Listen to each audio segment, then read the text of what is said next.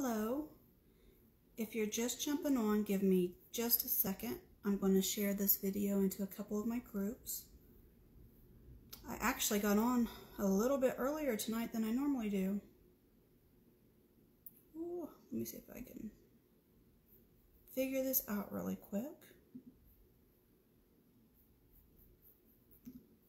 Okay. Okay,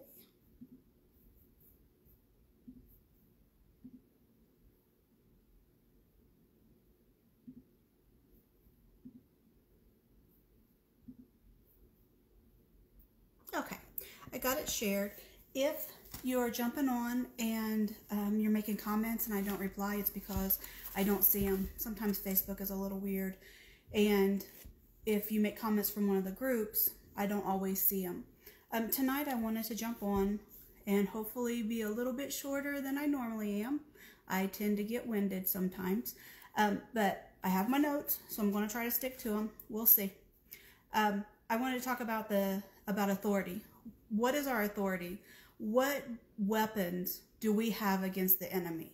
You know, he can come in like a flood. and again, I apologize. I'm still dealing with some sinus stuff.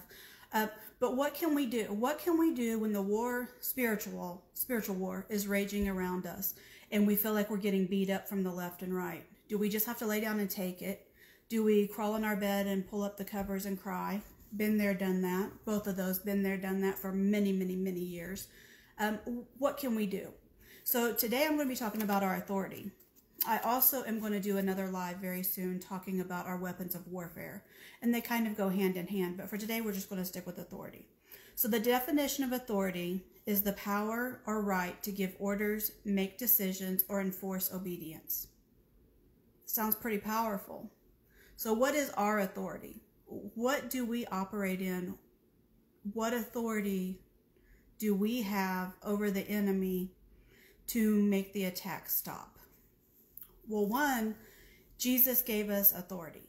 He gave us authority to bind and loose. In Matthew 16, 19, it says, I will give you the keys. That means us. He gave us the keys. He had them and he handed them off to us. Now, what are these keys? Its authority of the kingdom and kingdom of heaven, and whatever you bid, bind, sorry, whatever you bind, forbid, declare to be improper and unlawful on earth will have already been bound in heaven, and whatever you loose, permit, declare lawful on earth will have already been loosed in heaven. So what does this mean? So we have we have the authority to bind and loose. Um, that means there are things that are operating against us, and we can bind them. For one, I, an example in my life, fear tries to creep back in sometimes. And so I will verbally in my house out loud say, Fear, I bind you. I lose peace in my house. I'm binding and I'm loosing. I'm binding fear. It may not operate in my house. This is my house. It is not welcome here. It may not step foot into my door anything that is ungodly is not welcome in my home. So when, when I sense anything, I start binding it. You have to go. You can't stay. I bind you in the name of Jesus. And then I start loosing. I start loosing the peace of God. I start loosing um, courage, because what's the opposite of fear? Courage. So that's binding and loosing. We also have authority in the name of Jesus. This one is huge, and I think it is so undervalued. At least it was in my life. Like I knew coming up, I got saved when I was 18. So I knew like we prayed and we ended it in the name of Jesus. But I never understood what that really meant until I started learning about spiritual warfare and um, about the words that we speak and the power of our words. You know, I would pray, Lord, please heal me in the name of Jesus. Or, Lord, take this fear from me in the name of Jesus. Or, Lord, drive this depression away in the name of Jesus. But I never understood what walking in the authority in the name of Jesus really meant. Philippians 2 9 through 11 says, For this reason also, and I'm reading from the Amplified, that is like one of my favorite versions, Amplified Bible. And I also love the NASB. it gives a little bit more depth to the scriptures. So if it sounds a little different and you're not familiar with those versions, that's why. So Philippians 2 9 through 11. For this reason also, because he obeyed and so completely humbled himself, talking about Jesus, God has highly exalted him and bestowed on him the name which is above every name, so that the, at the name of Jesus every knee shall bow in submission of those who, who are in heaven and on earth and under the earth. And every tongue will confess and openly acknowledge that Jesus Christ is Lord to the glory of God the Father. That means that when we use the name of Jesus, every enemy must bow. And I've seen this in my life over and over and over for the past seven months that I have been helping people with spiritual warfare and deliverance. And I've been um, just going militant against the enemy. Uh, and again, not people, but the demonic forces, you know, fear, depression, anxiety, uh, lust. I mean, they're numerous. But I've seen it work. I've seen it work in the lives of people. And when you start using the name of Jesus, demons start start getting nervous. They don't care if you know about praise and worship, which that is powerful but it's not as powerful as the name of Jesus. There is no other name above his name. There is no other word, no other um, thing that we can do that will cause the enemy to bow like using the name of Jesus. And we don't use it flippantly. We are very reverent of using his name, but we also understand that he has given us authority to walk in his name and use his name. Mark 16, 17 through 18 says, These signs will accompany those who have believed and this is Jesus speaking. In my name they will cast out demons. They will speak in new tongues. They will pick up serpents, and if they drink anything deadly, it will not hurt them. They will lay hands on the sick, and they will get well. So, again, in his name, that is what we operate in. As Christians, what is more powerful than to be able to operate in the name of Jesus, the name that is above all things? And we have access to that authority. We can tap into that authority anytime we need it. It already says he's given us the keys. It already says the signs that will accompany people who have believed in him. In his name, we will do these things. The authority is just laying there, waiting for us to pick it up. In my life, it laid for years until I learned how to pick it up and walk in it. I walk in his authority daily, not by my might, nor by my power, but by the power of God, by the Spirit of God. We can access His authority 24 7. We never have to lay it down. He says He has given it to us. It is ours. That, that as a child of God, that is part of the package deal. You know, when we come to Jesus and we give our heart to Him, He gives us authority, His authority that we can walk in. And so many times we don't realize it and we don't know the authority that we can walk in and we get so beat up so I want to encourage you, pick up that authority. Start operating in that authority. You may not even feel like it when you first start, you know, going against the enemy in your life. It may feel like, oh, this is scary or, or, you know, I don't know if this is going to work, but put a little bit of faith with it. Start speaking out his name against the things that is coming against your life. If you have financial issues, start speaking to those. The word of God says that we can speak to a mountain and tell it to move and it will move any mountain in your life. I don't know what your mountain is. Start speaking to it. Tell it it's going to move. It has had its last day in your way. If it's finances, you know, spiritual struggle, or sorry, financial struggle, I speak to you. The word of God says I can speak to a mountain and tell it to move. So right now I speak to you and tell you, you have to move. You have to get out of my way. Whatever it is, if it's health issues, speak to it. Tell it in the name of Jesus, it must bow, it must move, it must get out. We've also been given authority over the enemy. Well, who is the enemy? Well, our enemy, we have one and only one enemy, and that's the devil and his demons.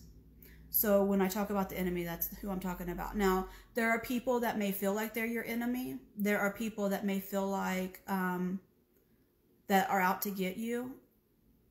But the enemy is usually the root cause of that. Him operating in and through them to hurt you. So when I talk about enemy, it's always, always demonic. Luke 10, 19 to 20, and this is Jesus again. He says, Listen carefully. I have given you authority that you now possess to tread on serpents and scorpions and he's he's talking about the enemy, serpents and scorpions. In this scripture is um, demons, and the ability to exercise authority over all the power of the enemy, which is Satan, and nothing in any way will harm you. Nevertheless, do not rejoice at this, that the spirits are subject to you. Catch that part. The spirits are subject to you. That means you have dominion over them. They are under your feet. Now, when we don't exercise our authority, they're not under our feet yet. The way to get them under our feet is to exercise our authority in the name of Jesus and by binding and loosing, and that is how we get them under our feet. They cannot control our lives. You have, I have dominion over them. Jesus says it right in his words. Nevertheless, do not rejoice at this, that the spirits are subject to you, but rejoice that your names are recorded in heaven. All of these fights, all of these, um, all of this turmoil, it is under our feet. And I think that that is the enemy's worst fear that we will realize what our true identity is in Jesus and that we will realize what power we have over him and that he we will realize that we do have dominion over him. I think he fights tooth and nail in the church to keep this a secret because as long as this remains a secret, he can run rampant all over us. He can cause discord. He can cause um, division. He can cause sickness. He can cause pre like premature death. He can run rampant because we don't understand that we have authority to tread over him. If he were truly over our feet, under our feet, his attacks would not look like they look. You can look all around us and see we need to rise up in our authority. We need to take dominion. We need to take dominion of our family. We need to take dominion of our marriages. We need to take dominion of our lives. And we need to put him under our feet where he belongs and this all kind of reminds me of, of uh, I was laying in bed the other night and I started thinking about it and I'm like, Lord, you know, what does this really look like? And it, it made me think of a horse. If you think of a horse that's never been ridden before and it's wild, it's untamed, what's the first thing it does when the rider tries to get on its back? It goes nuts. It will not let that rider sit on it. It is throwing him off. It will not take the bit in its mouth it won't have anything about it, uh, anything of it. But what happens a little bit at a time? The rider, the guy breaking the horse, he wears the horse out. He'll make it run in circles. So it runs and runs and runs. It's not going anywhere, but it doesn't even realize it's not going anywhere. It's going in circles. It's getting nowhere. But what is he doing? He's wearing it down. Does the enemy do that in your life? He did in mine. I ran circles for years years around and around and around. And what was happening? I was getting more and more tired.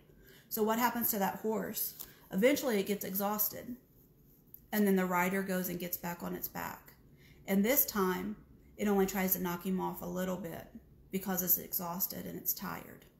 It accepts him to an extent.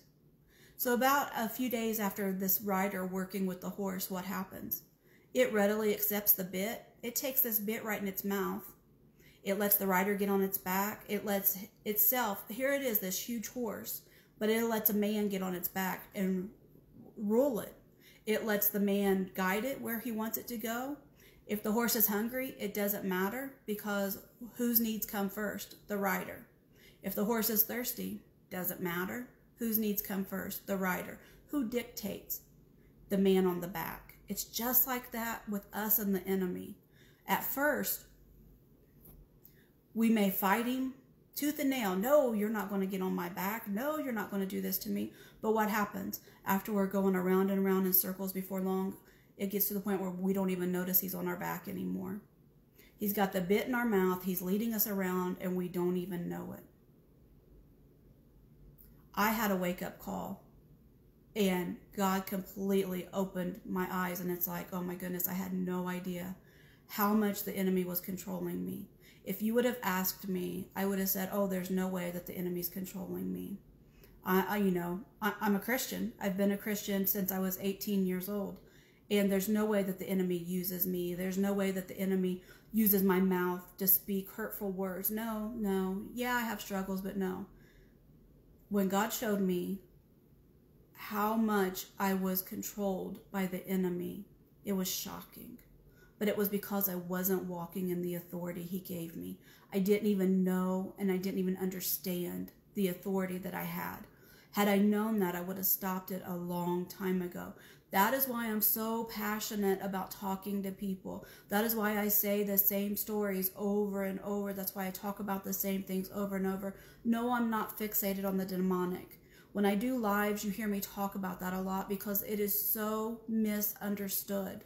In my private life, I am praise and worshiping God. I am helping people get closer to God. I have several people who reach out to me and I'm helping them draw closer to God. I'm getting closer to God. My husband and I talk about God all the time. I do so many lives about the enemy because that is the part that's lacking. The part that people don't understand is they don't have to be tormented. That's why I talk about this so much. It's not that I'm fixated. It's not that I'm unbalanced with my theology or with my with what I study. It's none of those things. I'm so passionate to help people get free.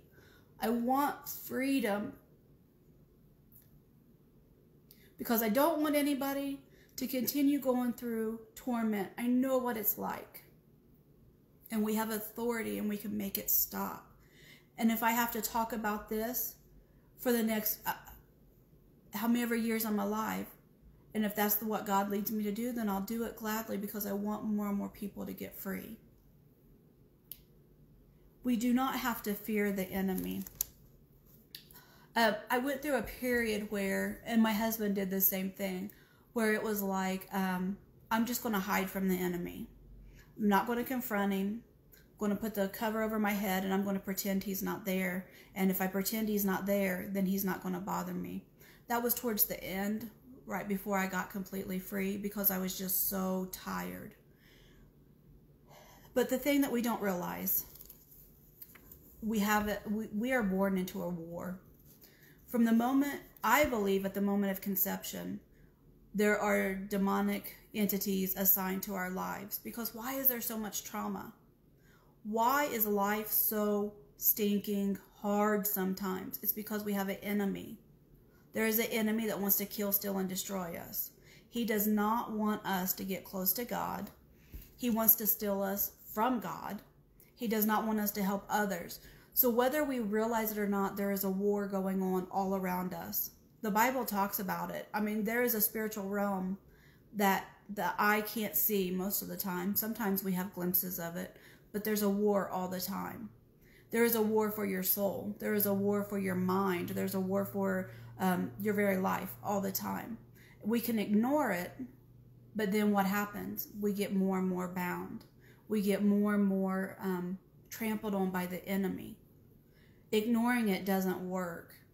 My husband, he used to joke, and I mean, looking back now, we say, okay, this wasn't funny, but um, he would say, I will pretend it's not there and it won't bother me because he used to be very afraid of the enemy we had a lot going on in our house from time to time because when I say I was tormented, like people that don't know me, the torment was um, in my mind, but then it was also in my home. So, for instance, there was a time when my husband was in the bathroom and uh, he was in there, and the the shower curtain opened all the way scared him to death. And he's like i'm just going to pretend i don't see it. Like he he handled it by i'm going to pretend i don't see it. Now he has completely changed. He's going to give his testimony. He's actually started working on it. He is like done completely changed now in spiritual warfare. He's like no none of that's going on in my house. It's got to go. But what my, my what i'm saying is is we can pretend like there's not an enemy. We can pretend like there's not spiritual warfare. And the only thing that comes from that is more and more bondage. There is nothing to fear. In the scriptures I've given you, it is clear Jesus gives us authority over the enemy. We have authority over him. Where is this at? I want to say this one more time because this is so powerful to me. Nevertheless, do not rejoice at this, that those spirits are subject to you. They are subject to us. I mean, really get that. Let that sink in. We have dominion over them. What harm can they do to us? We have dominion. They are subject to us. In the name of Jesus, we can speak to them and they have to obey. And I've seen that with my physical eyes. While I've been doing deliverance sessions, it's amazing to me. Um, and maybe I'll do I'll do a video sometime and just talk more about that. But I've watched them obey in the name of Jesus. People will be feeling certain things in their body, and I'll say, in the name of Jesus, stop. Immediately they stop. I've even said, set up and look straight. They set up and look straight. They are under our dominion. When I say that, I mean it. As soon as the fear starts to try to come in, I tell it, leave in the name of Jesus. It runs. Not even for a second does it stay because we have dominion. We do not always have to be reactionary. We do not always have to be on the defensive. In my life, I am no longer on the defensive. I am on the offense. I am taking back territory. I'm pushing my boundary. I'm the one who draws the line in the sand and says, You won't cross this enemy. He does not dictate to me anymore. What does that look like? That looks like me speaking directly to the enemy. No, he's not standing here face to face, but he can hear me. It is me saying, You will not have your hands on my family. You will not have your hands in my finances. I am a child of God. You will not touch me. I dictate to you. Jesus said right here in his scripture, I have dominion over you. So I'm telling you what you will and won't do. You will take your hands off and you will leave. That is being on the offensive. We don't have to wait for something to happen in our life and then be on the defensive. Now we can defend ourselves for sure, but we can push back more and more territory. If the enemy is has like crowded in on you, push back. Take your territory back. What is your territory? Your family, your home, if you have a business, your church. The, the enemy doesn't belong in your church. Take your church back. Speak directly to him. You will not enter my church. You will not have my church. You will not attack my people. Those are the things we have dominion over. We can speak and they have to go. What is the enemy stolen from you? What is he trying to take from you? Is it your joy?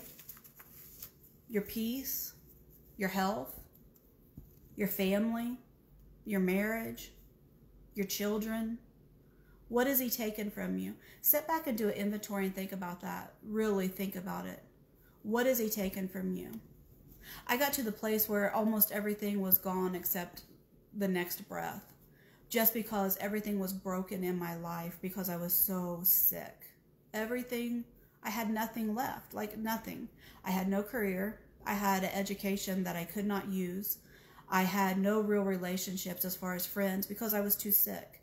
Um, I had family, but I didn't engage with them because I was so sick. I didn't have a marriage because I was sick. I was critical. I was bound. I was depressed. I was lost. I was, I mean, I literally had the television. That I, I my life was minimized to I had the television. The enemy will do that if we let him. Now I say, no way, no way. He has to go. What has he stolen from you? What is the thing that God has promised you that the enemy is still clutching in his hand? What is your promised land?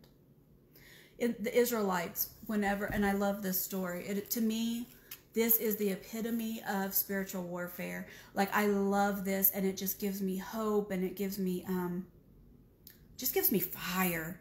Like I think about this, the Israelites were set free from Pharaoh. God miraculously set them free.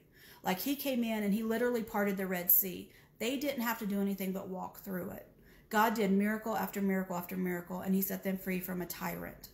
That was their enemy. That was their jailer. That was their slave slave owner. He set the, he set them free. He did all of that. Yes, Moses had to show up, but the people themselves, they just had to walk to victory. They just had to walk out. Now, when they got to their promised land, I think in my mind, they probably thought it would look the same. Like God is sending us to us this promised land. He's given us this promise. It goes way back, started with Abraham, and we're going to have this land. It's going to be all, all of these great things. It's going to be flowing with milk and honey. It's going to be ours. We're no longer going to be slaves. It's going to be great. What happens? They look at the land, and what's the first thing they see? They see the giants on the land they're not looking at the milk and honey anymore. They're not looking at, oh, that's freedom. They say, oh my goodness, there's giants in the land. I almost think that they thought that God would just run the giants off, but he didn't. He said, There's your promise. I provided the promise. Now you go take it. They was like, Oh my goodness, the giants, what do we do? We're scared. They're big. We're this, they're that. Again, he didn't step in. I believe in my mind, he was saying, I've given you the tools to take it. Now you go take it. we sometimes have to act in conjunction with God. He's given us these promises. And now we have to go take them. If there is a giant living in your promised land, drive it off your land. Drive it out. Get into spiritual warfare and refuse to let that giant live in your land. Now, what does that look like for me? I still have some lingering health issues. I'm probably 85% better than I was before I went through deliverance, but I still have some lingering stuff. I speak to the enemy all the time. Like my lungs start getting congested again, or um, I start getting fatigued, or just some lingering things that are still, and I start speaking to the enemy. You will not have my lungs. You will not have my body. I am not going back to that. This is my promised land. God has promised me this, and I'm fighting the giants sometimes our promise is right there and we're holding it. Now, what did God do for me? Mentally, I am 100%. Like, there is not even an inkling of any of the mental illness, residual brain fog. I don't even have brain fog anymore. None of that. Period. It's gone. He showed me how to go through deliverance and do that. What is left in my promised land? There's a giant still there, and it's some health issues. Am I afraid of it? Nope. Is it going? Yep, it's going. Little by little, it's going. And I'm going to run it off completely. There will be a day, not very long, I believe, that the giant will fall completely. What giants do you have? Are they stopping you from your promised land? Are they stopping you from holding that thing that God promised you? What has God promised you? He's given us all promises. Along the way, He's given us all promises. But if you see the giant, have you gotten discouraged? Have you been afraid? Has it looked too big? I just want to encourage you. You have dominion over every giant. Maybe you have 10 giants in your promised land. I don't know. But no matter how many you have, you have dominion over each and every one of them. You have the sword of truth in your hand, which is the word of God. That will defeat every giant. There is nothing that can stand against that. You have the name of Jesus that you can walk in the authority of, and there is nothing above his name. Every knee will bow. That means the giants in your life will bow at the name of Jesus. Got a little ahead of myself, but that's okay. God always does that. I start one way and he says, let's go this way, so we go that way. So what are some weapons of warfare that we can do to take our, our promised land back? And again, I'm going to do a whole video on weapons of warfare, but I do want to hit a few things because I don't want to take you this far, then leave you and say, well, get rid of your giants, but don't tell you how. I want to tell you how. One, verbally assault, verbally assault the enemy with the word of God. This is so powerful. I have seen this in my life. It is so powerful. And what do I mean by that? Get out your Bible, start reading out loud to the enemy. Find scripture that pertain to your situation. One of the ones I love is Isaiah 54 17. No weapon formed against me will prosper. None. No means no. We don't need a translation for that. So whenever the enemy tries to come in, I say, no. No weapon formed against me will prosper. Period. We don't even have to take it any further than that. So, enemy, I'm speaking to you right now. The word of my God says, No weapon formed against me shall prosper. So, no matter what you're doing, no matter what you're trying, no matter what you're trying to bring, it will not prosper. So, go now. Another one that I like when the, um, I just went blank. When the enemy comes in like a flood, the Spirit of the Lord will raise up a standard. I love that one. Enemy, you're trying to come in like a flood, but my God is raising up a standard. You cannot touch me. You cannot touch my family. God has a hedge of protection around me that you cannot enter. Another one, resist the devil and he will flee. Enemy, I'm resisting you right now. So that means I'm doing my part. Your part is now you have to flee. So go in Jesus' name. And there's just just find ones that you really like. There are so many in the Bible that we can use. Put your name in them. Speak directly to the enemy. It's also a good uh, when you pray, you can pray back to God His word. You know, Lord, you said if I resist the enemy, then he would have to flee. So I pray that you would send your angels down to make him flee. You know, if you're feeling like you're just not getting breakthrough, there's nothing wrong with asking God to send help. I do that all the time. God, I pray that you would send your warring angels down to help and push back the enemy, push back. I mean, in the Bible, it talks about warring angels who go against the demonic. So I see no reason why we can't ask God to, to send them down and help um, and to do spiritual warfare. And I also pray a hedge of protection around my family and I speak to the enemy. My family has a hedge of protection around them. I plead the blood of Jesus over each member of my family. You may not touch that. I claim them for Jesus Christ. Period. You have to flee. And I do this. Uh, well, I'll give an example in a minute. Um, one, I do it every time I feel God prompted me to do it. If He says, um, pray for so and so, then I will pray for them and ask God to move in their life, and then I will also rebuke the enemy in their life. So I do both. I pray for, for God's assistance, and then I rebuke the enemy in their life. And then I also do it just if I'm feeling any type of way, and then I do it just in general for Him to keep His hands off my family. Praise and worship is another amazing weapon of warfare. The enemy does not like praise. The enemy does not like to hear you say how good God is. That could mean music, or it could just be you standing in your house talking about how good God is. Verbalize it. The enemy can't hear your thoughts, so say it out loud. God, I'm so thankful for this. Start start listing the things that God has done for you, and two things happen. One, the presence of God falls because it says He inhib- inhibits the praise of His people, and two, the enemy runs. He does not want to hear the goodness of God. Rebuke and bind the enemy in the name of Jesus. Let me think of an example for that. Um, anything that I feel coming into my house, I rebuke. Like if, if I feel fear trying to slip in, I will say, I rebuke you, fear, in the name of Jesus. I rebuke the words you're whispering to me.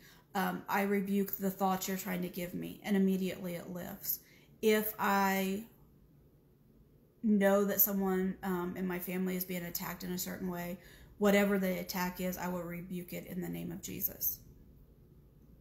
Now, how do we walk in authority? I've talked about the authority Jesus has given us, and that's for every believer. Everyone who walks with the Lord, it's for every, it, it's for every believer. But how do we walk with the Lord? Well, right living. What does the Bible say? Are we living the way that the Word of God says we're living? Are we cultivating a personal relationship with Jesus Christ? Are we living to His will and not ours? Are we submitted to Jesus? Are we submitted and walking the walk that he wants us to walk. Because I find this, well, I'm getting ahead, hold on. So in Romans 12, I love Romans. Romans is a really good book about just how to live. And I'm going to kind of skip through this. This is Romans 12, 1 through 2. Present your bodies as a live, living sacrifice, holy and well pleasing to God, which is your logical act of worship. Do not be conformed to this world but be transformed and progressively changed by the renewing of your mind, focusing on godly values and ethical attitudes, so that you may prove for yourself what is the will of God, that which is good and acceptable and perfect in His plan for you. So I believe that in order to walk in His authority, we have to be walking with Him. Not everyone who says that they're a Christian is going to be able to walk in His authority because it's one thing to say that we're a Christian, but what does your life look like? Does your life reflect His? Are you living in submission? It's not like just a math equation that where 2 plus 2 equals 4 using His name. It is you have to walk in authority under His authority to be able to walk in His authority. And that's a really important key. I can show you a scripture in the Bible where what can happen if you are trying to use his authority but you're not walking with him. It's in Acts 19 11 through 20. This is a really long one, so I'll try to. Well, it's good. I'll read it. I'll go quick. God was doing extraordinary and unusual miracles by the hands of Paul, so that even handkerchiefs or face towels or aprons that had touched his skin were brought to the sick, and their diseases left them. and the evil spirits came out of them. Then some of the traveling Jewish exorcists also attempted to call the name of the Lord Jesus over those who had evil spirits, saying, I implore you and solemnly command you by the Jesus whom Paul preaches. Seven sons of one named Sceva, a Jewish chief priest, was doing this. But the evil spirit said, I know and recognize and acknowledge Jesus, and I know Paul, but as for you, who are you? Then the men in whom the evil spirit was in leapt on them and subdued all of them and overpowered them, so that they ran out of the house in terror, stripped naked and wounded. Okay, so in this story, we hear they were trying to use the authority given by Jesus, but they weren't living for Jesus. They were just trying to borrow his name and use it in the same way Paul used it, and it didn't work for them. They got whooped by the demons. And so the first key to walking in authority is making sure you you have right living with Jesus. Do you have a real relationship with Jesus Christ? Does your heart belong to him? Are you living in submission to him? Is he your Lord? If he's not, then everything that I've just talked about tonight is not not not for you yet. First, you have to make him your Lord and Master. Once he's your Lord and Master, he's in your heart, you're submitted to him, then we can walk in the authority that he gave us. Here's another scripture in 1 John 3 8. The one who practices sin, separating himself from God and offending him by acts of disobedience, indifference, or rebellion is of the devil, and takes his inner character and moral values from him, not God. For the devil has sinned and violated God's law from the beginning. The Son of God appeared for this purpose, to destroy the works of the devil. So we just have to make sure that we are walking with Jesus. And the first step of that is making sure you have a real relationship with him. Don't try to use his authority as a weapon against the enemy if you're not living submitted to him. Just like the seven sons of Sceva did, it won't work for you. Authority or submission is the biggest thing. I, sorry, I just got a text. Um, took my train of thought. Um, I do deliverance ministry all the time with people. And so I see how the name of Jesus works.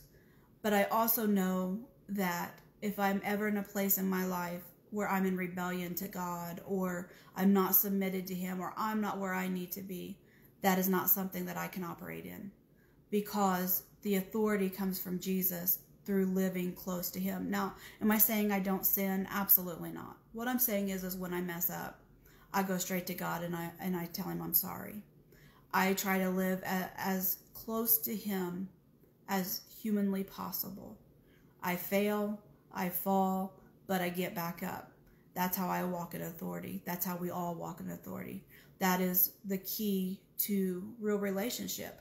When you're in a real relationship with somebody, you don't want to hurt them. You don't want to have distance between the two of you. And that's what it all all amounts to, real relationship with Jesus Christ. Are you walking in real relationship with him? If you are, then that authority that he gave us is, is for you. We can exercise this authority over any demon, any situation, and it has to go in Jesus' name. So I want to give you a story kind of what this looks like practically. Um, I always like to leave like a practical application so that you see what it is I'm talking about because I give a lot of scripture, but how do I use this in my life? the other night, Ronnie and I were sleeping, and the Lord had woke me up, and I felt some. I just I felt. Um, I can't really even name exactly what I felt, but I knew I needed to pray. And so I was laying in bed and I was praying. And sometimes I don't know exactly what I'm supposed to start praying for, so I will pray for different things, and then I can feel when I hit on what it is I'm supposed to be praying for, because then I feel release. So I was praying, but then the Lord was telling me, you know, rebuke the enemy mm, make sure that the enemy's not coming into your home. So I started doing that. And I had just barely drifted off back to sleep. And I was awakened by Ronnie because I heard him in the living room praying. And this was in the middle of the night. He had gotten up and he come in the living room. So I yelled in the living room. I said, what are you praying for? He said, I don't know. He said, God woke me up and we're just really, you know, I'm just really praying against things in our home. So I got up and I anointed the doorpost and I anointed underneath, or he anointed it and I was speaking. And we anointed under the, um, the threshold. And what I was saying was no enemy can walk across this threshold. I rebuke and I bind every demonic attack in the name of Jesus. Nothing for, with ill intent may cross this threshold. Nobody with ill intent may cross this threshold and I was just speaking it. And I mean, the Spirit of God just landed on me, and I was just um, like very authoritative. Like you could feel it when it's flowing through you, and you could feel it when it's God, and when you're really working and manifesting His authority. It was like I was just very authoritative. And we, I stood at the front door, and I did that probably for like 20 minutes. And then Ronnie was going around the house. I have no idea what that was about. I don't know what was trying to come in. I don't know if somebody was trying I don't know. I don't know. We don't know. But we know it, it released and we know we have perfect, perfect peace. So that is how spiritual warfare can work. Be very sensitive to what God is telling you. He has given me words before to specifically pray. Um, there have been a couple different incidences with someone very close to me, and I know the enemy has tried to attack them. And he has given me specific words to speak out against the enemy and then specific prayers to pray over that person. And I know this person's life has been tried to have been um, taken or at least harmed three different times. And God has given me the specific things to say and do.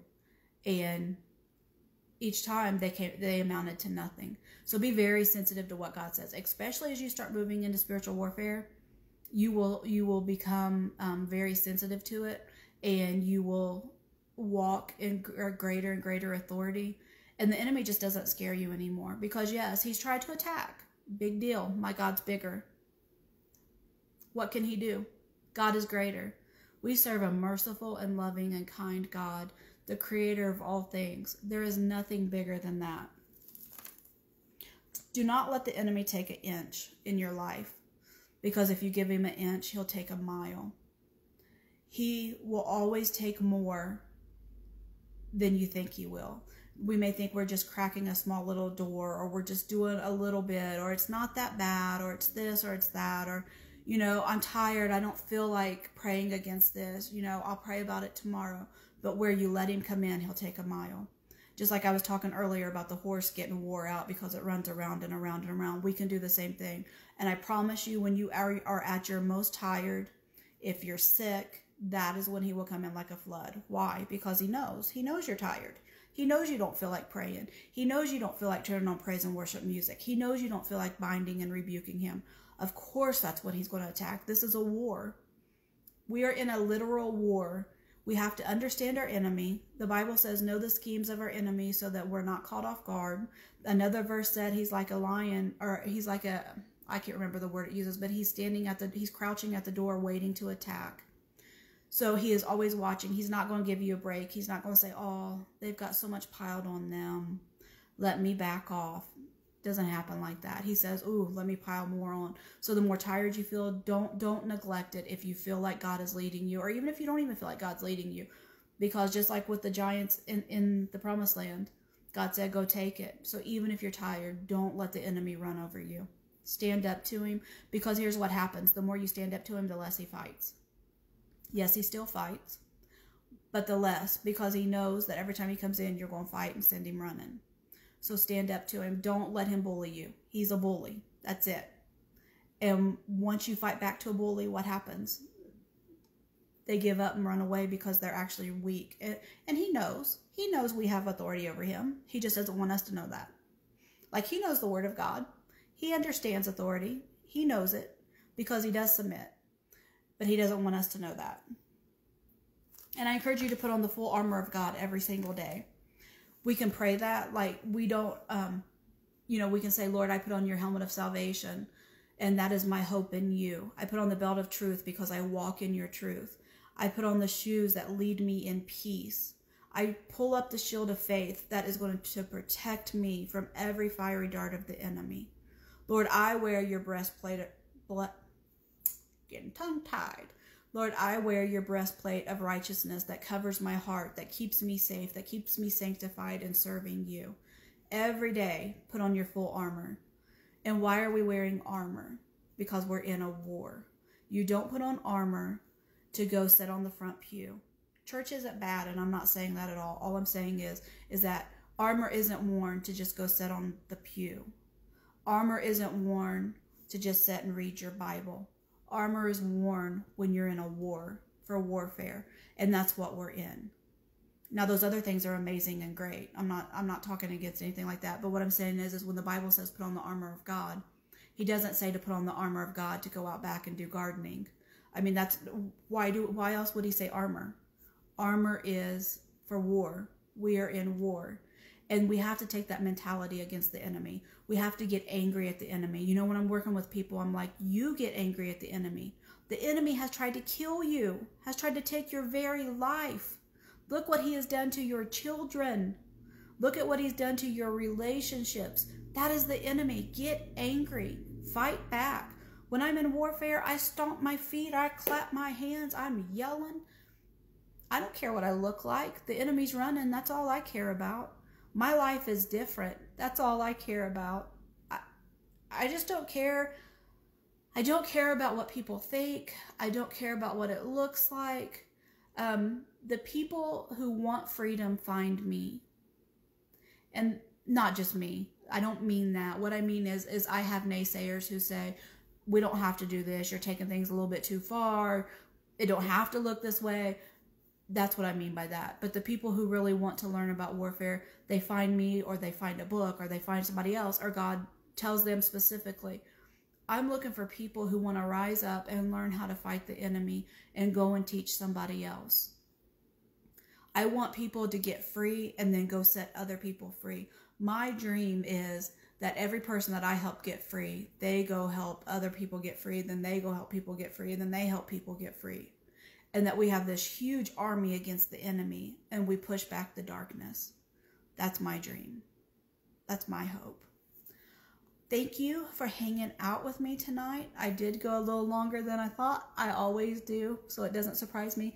I literally start with three pages of notes. Like like I, I, I back it off and I'm like, okay, three pages of notes. But then I get winded. I hope that this has ministered to you. Um, I am planning on, we are in the middle of trying to sell our house and looking for a house, but I am going to try to start getting much more um, uh, devoted to coming live uh, more often. I have like six messages, I think, setting that I've already typed up now that I just need to, to do. Excuse me. So I do plan on doing that a lot sooner. I get sidetracked sometimes because I get a lot of um, what some of you may not know is I'm doing a ton of deliverance sessions like all throughout the week. Last week, I think I did three, and they can last anywhere from three, six, seven hours. So they go really long. So when I have a deliverance session in a day, that's usually pretty much all I do that day. So I'm not just sitting here doing nothing. I'm actually um, doing my best to help people get free and get closer to Jesus. I would love, love, love to start helping people learn how to do deliverance for other people. I think that would be amazing. And I think God is leading me in that direction because I've actually started putting together a manual for exactly how I do things. And I'm going to do videos along with that. So I would, I, I'm actually going to work on that this evening. As soon as I have that ready, I will put that out there so that people can use it. I would love to see churches start jumping on board and offering that through church. I mean, that would be amazing my my thing is if we could get churches on board understanding spiritual warfare teaching spiritual warfare and offering deliverance we could be setting the masses free. I mean, it, it would just be it, it would be astronomical the people that could start getting free. So my my vision god's vision i'm saying my vision god's vision he's been revealing a little bit more and more to me is I'm going I am putting together training material and I'm not the only one. There are people that are doing this all over the place and they're having the same type of burden on their heart. So I know it's God moving and they're doing some of the same type of things. My whole vision is is to to train people to do spiritual warfare, train people to do deliverance, and then it just break out all over the place. Like that that is is my goal. My goal for sure. I continue, of course, doing one on one deliverance sessions. I love doing that. Love seeing people get free. it just um, melts my heart every time I see Jesus break the bonds off of people. You know, I have people come in that have suffered like I've su- had suffered for years with stuff. And when it goes, I mean, God just shows up so big. And it's just amazing the things that He does in each and every session. Always shows up. So that's my heart. That's where I'm at. That's what I'm working on. If you have any questions at any time, you can contact me. You can message me on Instant, Messenger. You can find all of my videos on YouTube if if this was interesting for you. And I think that's all I got for tonight. So I'll talk to everybody later. Thanks for tuning in. Bye bye.